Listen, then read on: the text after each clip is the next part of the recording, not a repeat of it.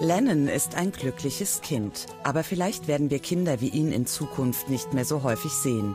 Der Siebenjährige hat das Down-Syndrom. Für neun von zehn Frauen ist das Down-Syndrom ein Grund abzutreiben. Doch für die Eltern von Lennon kam das nicht in Frage. Steht nicht zur Wahl, sein Kind umzubringen, weil es irgendwie anders ist. Ja, jedes Kind ist anders, jedes Kind hat irgendwelche Probleme. Wo fängt man an, wo hört man auf? Also ich sehe da keinen Sinn drin, ehrlich gesagt. Und ich kann auch nicht entscheiden, dass jemand, der Down-Syndrom hat, nicht lebenswert ist. Die Reisters haben vom Down-Syndrom der Trisomie 21 durch einen ungenauen Zufallsbefund erfahren. Ihr Arzt konnte nicht verstehen, dass sie das Kind bedingungslos bekommen wollten. Er riet zur Abklärung durch eine Fruchtwasseruntersuchung. Wenn ich mir jetzt überlege, was wäre die Folge bei mir, wenn wir es gewusst hätten, dann wäre für uns keine, wir hätten uns nicht anders verhalten, indem wir hätten ihn nicht abgetrieben. Und von daher gesehen haben wir einfach gesagt, wir machen keine Untersuchung, die irgendein Risiko hat.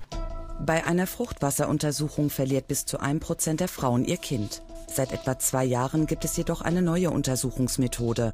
Einen einfachen Bluttest, der risikofrei ist und der zu 99 Prozent sicher feststellen kann, ob ein Baby Trisomie 21 hat. Der nicht-invasive Pränataltest ist ein Bluttest für Schwangere, der ab der achten Schwangerschaftswoche durchgeführt werden kann, meistens ab der zwölften, der untersuchen kann, ob es Hinweise gibt für das Down-Syndrom. Die Kosten für den Test, rund 400 Euro, müssen die Eltern bislang selbst tragen. Aktuell wird darüber beraten, ob der Test künftig Kassenleistung wird. Doch vor dem Trisomie-Test sollte das Ungeborene im Ultraschall gründlich untersucht werden. Die Pränataldiagnostikerin Dr. Katrin Trautmann macht den Bluttest nur bei Auffälligkeiten. Das Interesse der Frauen ist sehr hoch an dem Test, weil sie doch verstanden haben, dass jede invasive Diagnostik, also eine Fruchtwasseruntersuchung, das Risiko einer Fehlgeburt beinhaltet. Und davor haben die Frauen natürlich große Angst. Wir machen momentan etwa fünf bis sechs Bluttests pro Woche. Interessant ist der Test vor allem für Risikoschwangere ab 35. Sie können das Vorliegen eines Down-Syndroms ausschließen, ohne die Risiken einer Fruchtwasseruntersuchung. Die Anzahl der Fruchtwasseruntersuchungen ist vor allen Dingen seit Einführung des Erstrimester-Screenings in den letzten zehn Jahren frappierend zurückgegangen. Um mehr als zwei Drittel. Seit Einführung des Tests haben wir den Eindruck, sind die Zahlen noch mal etwas weiter gesunken. Bei positivem Test ist die Fruchtwasseruntersuchung zusätzlich nötig. Trotzdem spricht der Test viele Frauen an. Den würde ich wahrscheinlich machen lassen. Die andere Untersuchung habe ich nicht machen lassen, weil mir das Risiko der Untersuchung zu hoch war. Also ich habe auch diese Nackenfaltenuntersuchung gemacht, um sicher zu sein, dass da mit dem Kind alles in Ordnung ist. Also finde ich gut. Mein Mann war es wichtig. Ich bin 39, er ist 45. Statistiken steigen. Und ähm, unser war negativ und deswegen kann man dann positiv die letzten sieben Monate durch die Schwangerschaft gehen.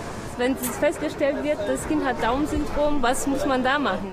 Im Zweifel müssen die Eltern dann über Leben und Tod entscheiden. Der Test erkennt nur die Trisomie 21. Ein unauffälliges Ergebnis bedeutet also nicht, dass das Kind gesund ist. Andere Krankheiten lassen sich nur über die Fruchtwasseruntersuchung feststellen. Volker Liedgebösel von der Lebenshilfe Frankfurt sieht den Bluttest kritisch. Der Test vermittelt das Bild.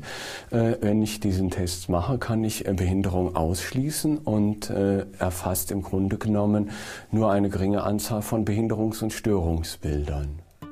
Eine frühzeitige Beratung zu Möglichkeiten, Grenzen und Folgen der Untersuchungsmethoden während einer Schwangerschaft ist daher wichtig.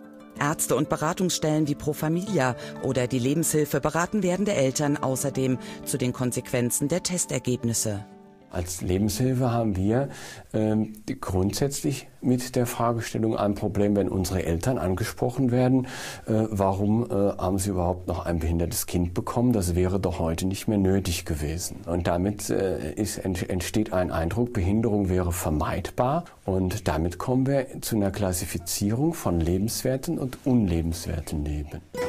Für Julia Reister und ihren Mann ist klar, der Test darf keine Aussortierung von Menschen mit Down-Syndrom bedeuten. Die Gesellschaft muss für behinderte Menschen offen sein.